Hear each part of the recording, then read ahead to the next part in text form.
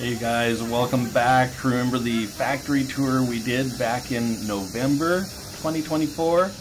Well, I have a couple of things that I had to leave out. And I can't wait to show you. Obviously the title gives away, but uh, I want to take you inside here. Let's take a look.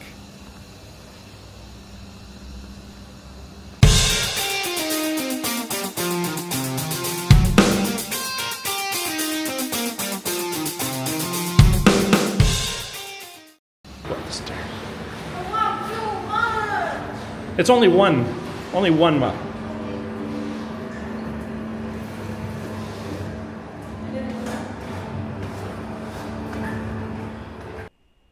Okay, the first little part has no audio, so we're gonna hear the noise in the factory in a second here. I just wanted to show you the CFS running on K1Cs and K1 Maxes here at the factory. This was back in November and they are testing a lot of them, a lot of them. So I'm excited for you guys to see this. Enjoy.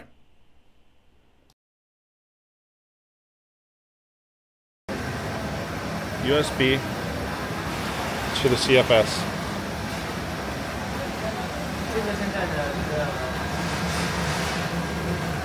Cutter.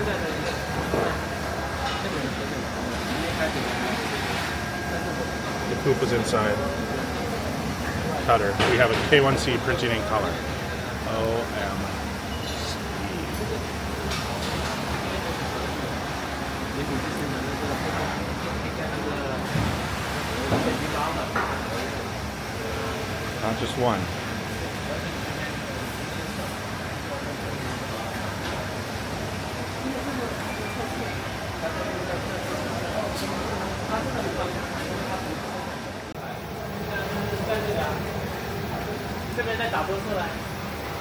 那边也是。没有这边。我我们拍视频有一点点小问题的，拍了两次的。希望我不要再去当当当主拍的话，就那个视频就关机。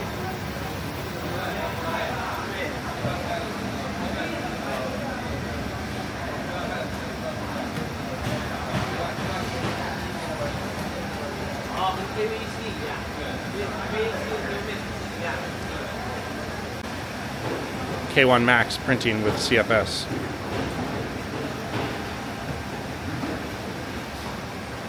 Yeah, a lot of people are asking. Yes. Now I can tell them. Okay, let me walk you through this a little bit. Uh, just to show you, this is a K1C, K1 Max is exactly the same. The printer communicates with the CFS through the USB. So that cable is connected.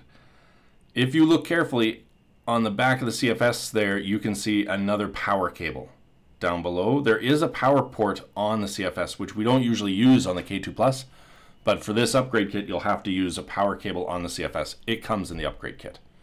This is the very first time I'd seen it, so this is why I'm doing a voiceover because I'm I'm my voice is high pitched. I'm asking very excited questions, and I'm going to tell you the answers to them. There, there's no change of the printhead. I honestly thought we were going to have to change the whole printhead, get a new back panel, uh, and they're they're explaining to me now that no, it's the same printhead. This is the K1C printhead, K1C nozzle. The only thing that's changed is the extruder. That's part of the CFS upgrade kit, which I'm going to make a video of doing it in in the studio. So you can see there the CFS sends to the back of the printer and it's got that same hub that the K2 Plus uses. So you can connect up to four of them. You can run 16 colors here.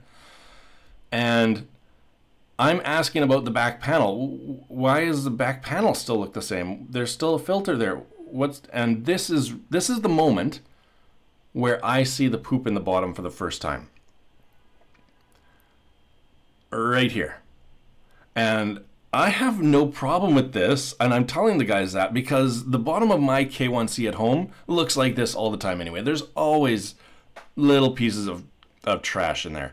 Now I'm I'm looking at what's missing here. They've made improvements to the upgrade kit since November because there's a few little shrouds that are missing on this one.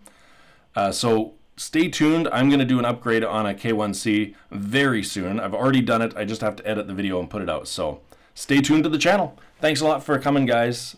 Give me a like, make a comment. We'll see you next time.